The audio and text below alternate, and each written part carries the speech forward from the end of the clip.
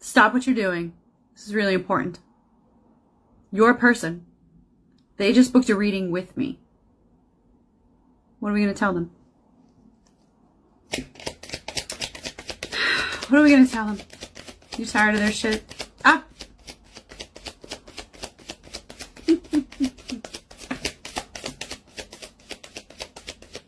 You're waiting. You're waiting for them to come in, offer you this cup, communicate.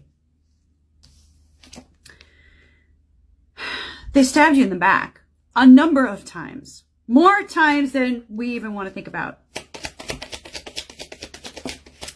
They're going to have to pay. Because you're the star now. I mean, they can't just come in. They can't just come in. They just can't. They can't come in as a knight and think they're just going to get you back. Because you're the star. You're in your Nine of Cups. Mm-hmm. Nine of Pentacles energy. Single. Ready to mingle.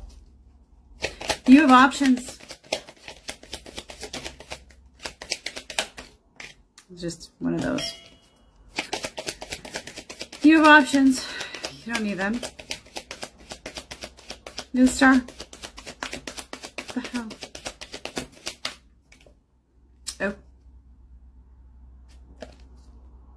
You wouldn't mind having some sexy time. But whatever. Have options. You wouldn't mind having a little romantic time with them. You're tired of waiting. You're tired of waiting. You ain't no victim anymore. You take the blindfold off. You see your worth. It's taking too long.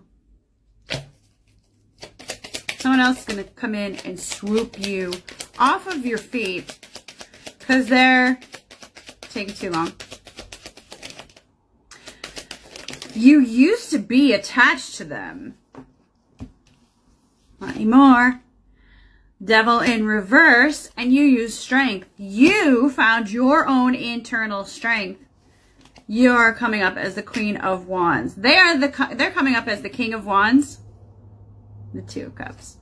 I love you guys.